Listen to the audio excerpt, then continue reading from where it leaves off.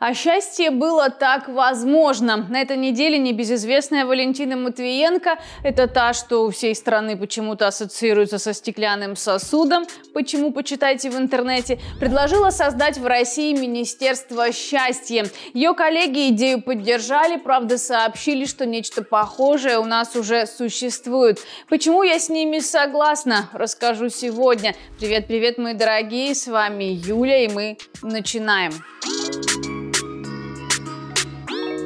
Итак, Матвиенко и ее минута счастья. На этой неделе тетя Валя немного расщедрилась и неожиданно блеснула новой инициативой, по которой предложила все решения Госдумы прогонять через призму счастья россиян.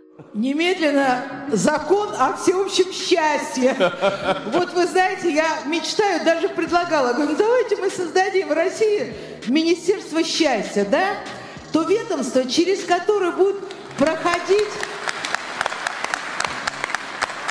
через то ведомство, через которое будут проходить все решения, все законы на предмет того, а сделает ли этот новый закон или новое постановление правительства людей более счастливыми. Надо сказать, что подобные инсайты время от времени у Матвиенко уже возникали, и Министерство счастья она уже когда-то предлагала. Но поддержантов у идеи оказалось настолько мало, что золотом в ее случае опять стало молчание.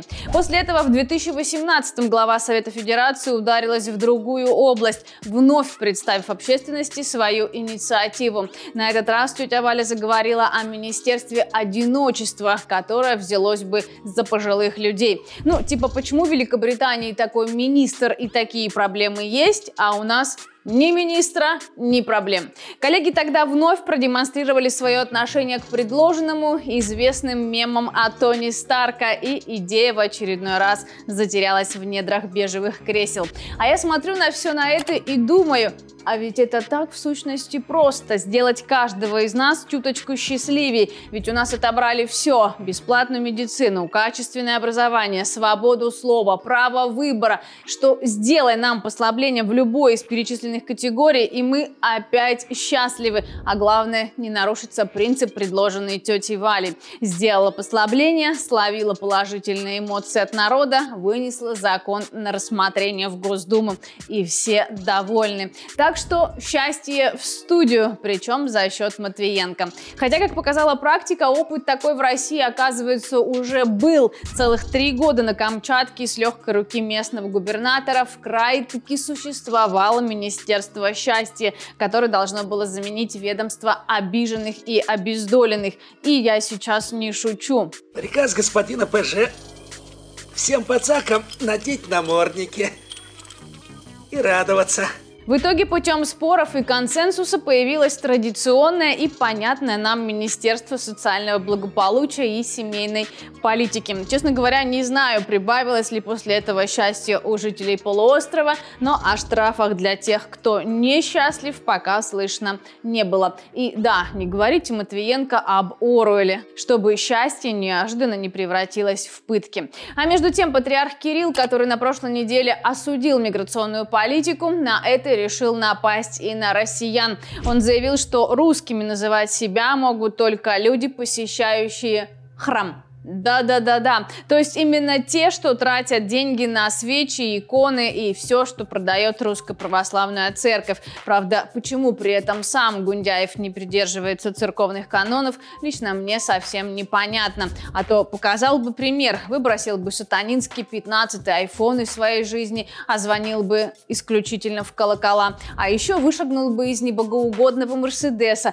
да с Божьей помощью прошел бы путь обычного россиянина, где все 7.20 смена на заводе, а в 16.40 дом, уроки и головная боль, чем платить ипотеку. Может быть, тогда и понял бы, почему в России много верующих, но мало посещающих Дом Божий. Спойлер, просто между нами и Богом посредники не нужны. Но вангую, что у Кирилла на этот счет есть свой собственный план, где истинные россияне будут начинать свой жизненный путь с церковно-приходской школы, а заканчивать его же на местной деревенской заваленке, веруя и опасаясь опасаясь бесов и упырей. Вот тогда и именно тогда никто из них не полезет в политику, никто не запилит новый ролик на ютубе и на митинг точно не выйдет. Такими и управлять легче, и объяснять не надо, что свечка сама себя не купит. Хотя, если честно, лично я не знаю ни одного закона, устанавливающего национальность по православному признаку, но Кириллу виднее. Причем не только в вопросах национальной принадлежности, но и в ответах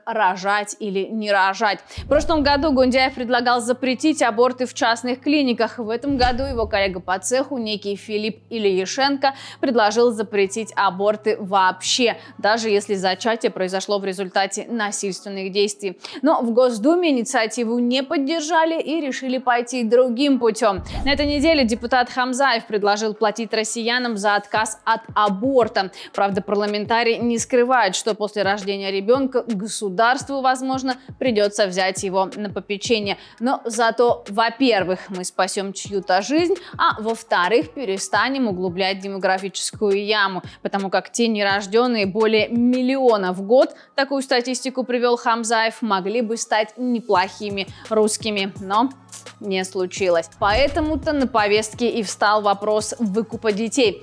А знаете, за какую сумму? За 100 тысяч рублей. Конечно, с одной стороны, сумма вроде бы небольшая, особенно если женщина адекватная и работающая. С другой стороны, если рассматривать различного рода маргиналов, то те и за 100 тысяч будут готовы печатать себе подобных каждые 9 месяцев. Но только гарантии, что такие дети окажутся здоровыми, нам никто не даст. А значит, мы можем наплодить целое поколение малышей, лишенных любви, заботы и ласки. И да, кстати, Хамзаев забыл упомянуть и еще еще один немаловажный факт. Ведь решив родить ребенка и сдав его в спецучреждение, мать автоматически становится ипотечником на целых 18 лет, потому как алименты в пользу государства ну, никто не отменял. А я напомню, это 25% от заработка или иного дохода. И так 12 месяцев в году до совершеннолетия ребенка. Так кого и от кого в итоге спасает Хамзаев?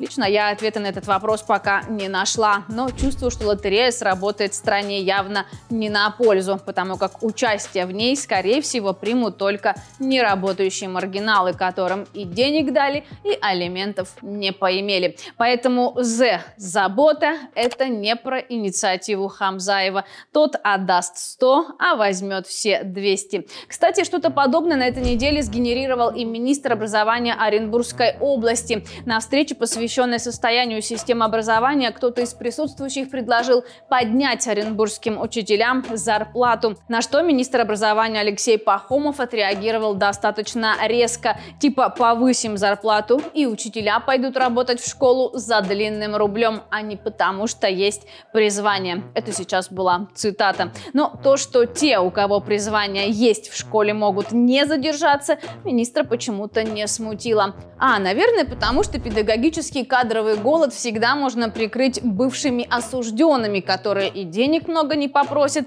и с детьми общий язык уверенно найдут. Правда, депутатов Госдумы слова местного министра нисколько не впечатлили. И партии ЛДПР и «Новые люди» предложили освободить Пахомова от занимаемого стула. Тот, конечно, попытался оправдаться, но зарплаты педагогов от этого выше не стали. Интересно, конечно, чем закончится дело, но об этом вы узнаете узнаете из следующих выпусков новостей. Ну а на сегодня это все. Увидимся ровно через неделю на том же месте и в тот же час. И да, не забывайте, что вторая наша программа выходит только на Бусти. Всех люблю. Пока-пока.